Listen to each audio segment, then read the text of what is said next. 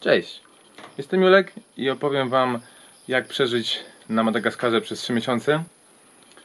Na początku chciałem iść do dżungli i złapać, nie złapać, tylko e, nakręcić film z żywym lemurkiem na wolności, ale jednak żaden by nie przyszedł, więc sprawą oczywistą jest to, że musiałem się wybrać tutaj.